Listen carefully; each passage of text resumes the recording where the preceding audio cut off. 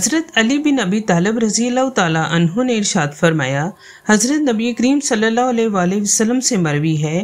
آپ صلی اللہ علیہ وآلہ وسلم نے ارشاد فرمایا کہ آیت الکرسی اور سورت فاتحہ اور آل عمران کی دو آیتیں بسم اللہ الرحمن الرحیم شہید اللہ انہ لا الہ الا ہوا والملائکت و اولو العلم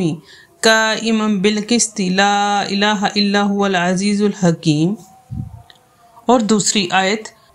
کل اللہم مالک الملک تؤتی الملک من تشاء و وتنزی الملک ممن تشاء و وتعز من تشاء و وتذل من تشاء بیدک الخیر انکا علا کل شعین قدیر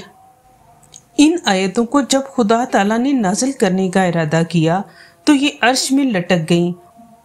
اور کہنے لگیں کہ کیا آپ ہم کو زمین پر اور گنہکاروں پر نازل کیے دیتے ہیں؟ خدا تعالیٰ نے ارشاد فرمایا کہ اپنی عزت اور جلال کی قسم، میرے بندوں میں سے کوئی ایسا نہیں کہ ہر نماز کے بعد تم کو پڑھا کرے